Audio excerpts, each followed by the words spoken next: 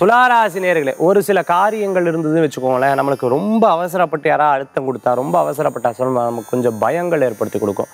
அதே மாதிரி பார்த்துட்டுனா பண விஷயங்களில் நம்ம ரொம்ப கவனமாக பணம் இதை போடலாமா வேண்டாமா இதை பண்ணலாமா வேண்டாமா இந்த மாதிரி விஷயங்கள்லாம் ரொம்ப கவனமாக இருக்கும். ஒரு வயசாகிடுத்து நம்ம குழந்தைகள் நம்ம நம்பி நமக்கு பேங்க் சம்மந்தமான விஷயங்கள்லாம் கொடுத்துட்டு போயிருக்கா. அதெல்லாம் ரொம்ப கவனமாக வச்சுக்கணும். யாராவது ஃபோன் பண்ணி கேட்டால் அதை பண்ண அதை பண்ணால் உடனே அதை அப்படியே ஒப்புச்சிடப்படாது.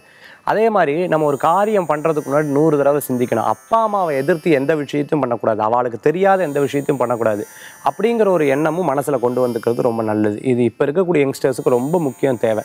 அதனால் முடிஞ்ச வரைக்கும் தாய் தந்தையர்கிட்ட உட்காந்து பேசி இவாட்ட இதாக்கும் அதாக்கும்னு தெரிஞ்சுட்டேன்னா உங்களுக்கு ரொம்ப நல்ல பலன்களை கொடுக்கும். அவாட்ட சில கருத்துக்களை பரிமாறும் பொழுது அவளுடைய அனுபவங்கள் நம்மளுக்கு சொல்லும் பொழுது அது நம்மளுக்கு ஒரு வழிகாட்டுதலாக இருக்கக்கூடிய வாய்ப்புகளை ஏற்படுத்தி கொடுக்கும். துளாராசி என்பர்கள் இன்றைக்கி சின்ன விஷயம் பயந்தான் கூட அதை வந்து நம்ம வேண்டாம் அப்படின்னு ஒதுக்கிறது தப்பே கிடையாது. மனசில் எது திடகாத்திரமாக தைரியமாக இதை பண்ணலாம் தோணுச்சோ அதை பண்ணினேன்னா உங்களுக்கு நல்ல பலன்கள் கூடி வரக்கூடியதாக இருக்கும்.